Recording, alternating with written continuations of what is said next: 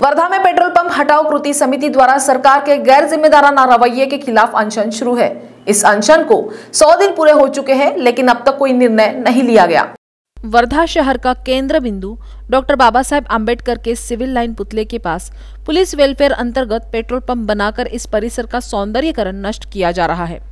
Petrol pump की जगह स्थलांतरित करने की मांग के लिए सरकार, जिलाधिकारी व पुलिस अधीक्षक प्रशासन के विरोध में श्रृंखलाबद्ध अनशन शुरू है।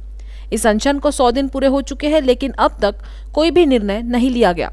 इसलिए मांग और तेज होने की बात पेट्रोल पंप हटाओ कृति समिति कार्यकर्ताओं ने बताई। बघा, आज आंदोलन सुरू होऊन, म्हणजे साखळी आंदोलन सुरू ना, शंभर दिवस झाले.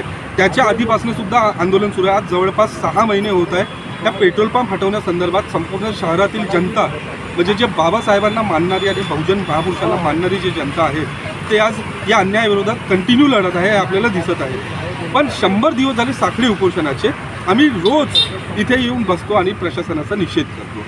आज संपूर्ण वर्धेचा जर इतिहास बघितला तर आज संपूर्ण वर्धेच्या इतिहासामध्ये म्हणजे शेतकरी आंदोलनाच्या नंतर सगळ्यात जास्त काळ चाललेलं आंदोलन हे आता हे पेट्रोल पंप हटाव कृती समितीचं जे पेट्रोल पंप हटवण्यासाठी आंदोलन सुरू आहे ते आंदोलन आज बघा की शंभर दिवस झाले किंवा सहा महिने झाले तेव्हापासून कंटिन्यू आंदोलन सुरू आहे. आणि हे आंदोलन तेव्हापर्यंत सुरू राहणार नाही म्हणजे सुरू राहणार जेव्हापर्यंत हा पेट्रोल पंप इथलं स्थानांतरित होणार नाही.